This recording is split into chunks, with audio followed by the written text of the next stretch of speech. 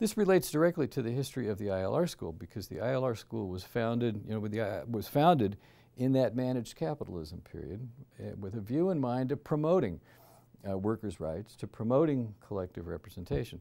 So we have a faculty now uh, that has a great deal of expertise, research in labor questions. We also have an extension program that, has, that works closely with unions and with other organizations that, uh, that promote collective representation.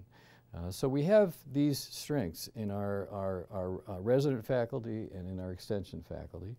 Now, we also have a large number of active students, graduate students and undergraduate students, who are interested in this debate, who are interested in where society is headed.